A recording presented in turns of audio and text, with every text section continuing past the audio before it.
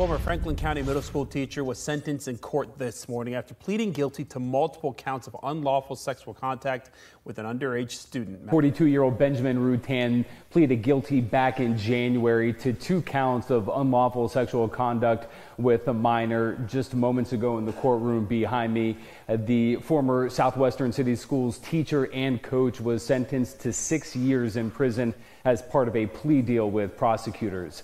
Uh, this he faced the possibility of up to 10 years uh, with the charges he faced. Rutan was a language arts teacher and track and basketball coach at Norton Middle School when the abuse began back in 2013. Now, in the courtroom this morning, Madison Sparks gave an emotional, powerful victim impact statement.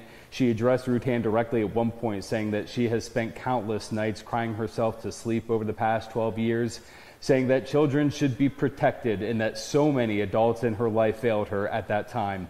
Now, according to arrest documents, the sexual contact continued until Sparks was 19 years old.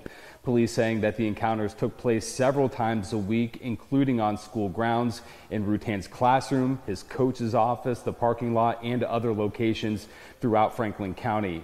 In addition to the jail time, Rutan will also be under supervised control once released for up to two years. He will also be required to register as a Tier 2 sex offender. Now, before his sentencing, Rutan addressed the courtroom himself, admitting that everything Sparks said was true. He apologized and said that he would spend the rest of his life paying for this